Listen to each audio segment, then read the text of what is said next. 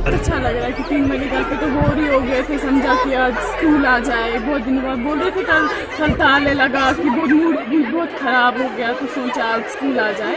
बहुत बहुत अच्छा लग रहा है कि बहुत टाइम से और मौसम भी देखिए कितना ख़राब हो गया। बहुत अच्छा लगा। उसके हालात की वजह से पता नहीं अब खुदा तक है सब कुछ किया। वैसे तो ठीक ही रहेगा इंशाल्लाह सब अच्छा।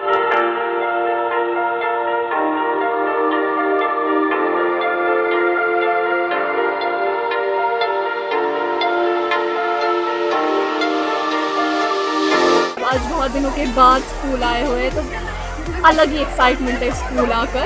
ऐसा लग रहा है कि कुछ अलग होने वाला है जो बहुत टाइम बाद स्कूल आते हैं तो अलग मज़ा आता है और नया अकेडमिक सेशन स्टार्ट हो जाता है फ्रेंड्स से मिलते हैं। ये बेटर फीलिंग होती है स्टूडेंट मुझे ऐसा महसूस हुआ कि घर पे बैठ के सब बोर हो गए थे। सब लोग कह रहे थे कि स्कूल्स खुलेंगे कब? फ्रेंड्स गेट टुगेदर करने के लिए। तो हालात ठीक रहने चाहिए क्योंकि उनकी वजह से हमारा जो अकेडमिक सेशन होता है, वो मुतासर होता है, जिसकी वजह से कश्मीर के बच्चे ज़्यादातर पीछे रह जाते हैं हर एक फ़ील्ड में, जो कि नहीं होना चाहिए।